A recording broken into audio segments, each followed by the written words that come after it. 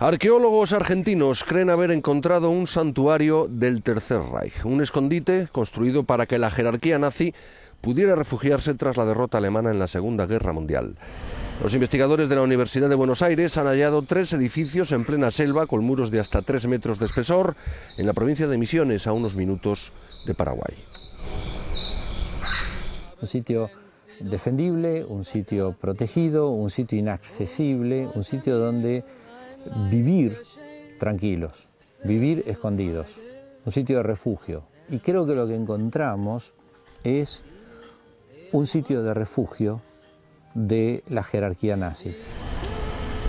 Los arqueólogos son cautos acerca de qué figuras nazis podrían haber vivido allí. A pesar de haber encontrado monedas y porcelana que corresponden a la época, la principal tesis es que el complejo no fue ocupado nunca, ya que los prófugos nazis sabían que podían vivir en las ciudades argentinas sin esconderse y sin problemas.